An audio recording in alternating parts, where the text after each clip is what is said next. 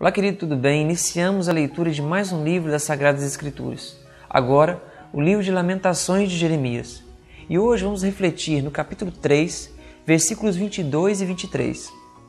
As misericórdias do Senhor são a causa de não sermos consumidos, porque as suas misericórdias não têm fim.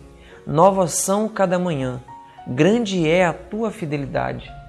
Que texto maravilhoso!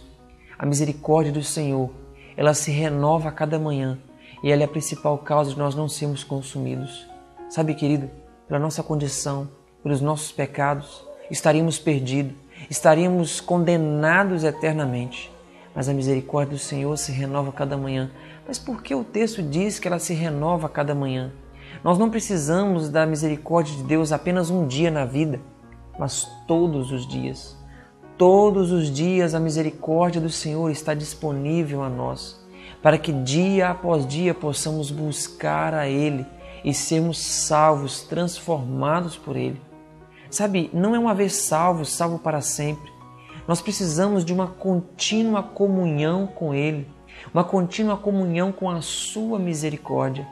E é por isso que ela se renova a cada manhã, para que a cada dia, a cada manhã, possamos buscá-lo, buscar dele a Sua misericórdia, o Teu perdão, o Teu poder.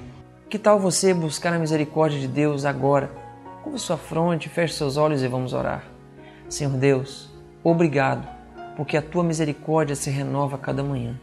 E nós te pedimos, ó Pai, pela tua misericórdia, para mais um dia. Nos dê força, nos dê sabedoria, nos ajude a estar mais um dia na tua presença, para que, se acaso Jesus voltar hoje, possamos estar prontos. Senhor, guia os nossos passos se acaso também nós descemos à sepultura, possamos estar com o coração preparado para que quando Jesus voltar, ressuscitemos para a vida eterna. Em tuas mãos colocamos a nossa vida e o fazemos no nome de Jesus. Amém. Querido, que Deus lhe abençoe e até amanhã, se Deus quiser. Não resista mais, se entregue ao Pai. Hoje é dia